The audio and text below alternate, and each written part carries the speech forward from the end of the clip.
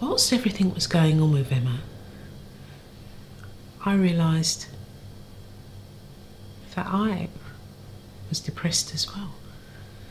I was suffering the low moods, irritability, tired, no energy.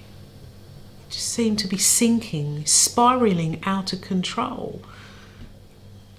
It just was wasn't getting any better. You know, my brothers and sisters and cousins, everyone was was there, not overbearing or anything, but you know, a phone call, how you doing?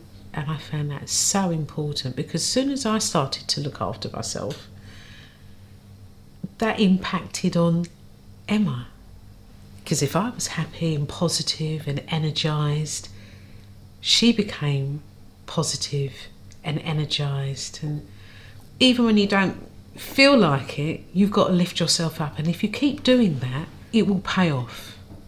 They will feel it, and that is what is important to them because then it lifts them into a more positive place, and and that's your starting point, isn't it? You know, you've got to look after yourself.